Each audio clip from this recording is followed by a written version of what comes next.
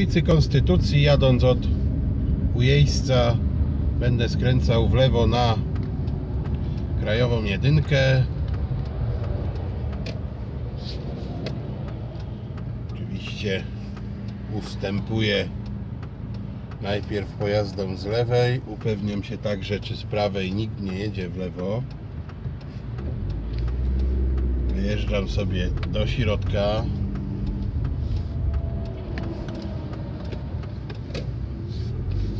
Wyjeżdżam sobie na lewy pas ruchu. I oczywiście, jako że jestem na lewym pasie, odpowiednio trzeba tutaj też auto rozpędzić do nieco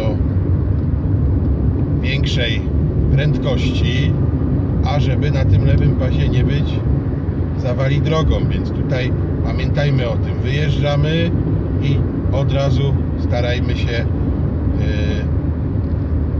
wprowadzić auto na wysokie obroty, wypracować dość sporą prędkość. Dojechałem do skrzyżowania z Kusocińskiego, gdzie znowu pojadę w lewo i znowu wyjeżdżam sobie do środeczka, ustępuję pojazdom sprzeciwka. No teraz bym zdążył, ale biorąc pod uwagę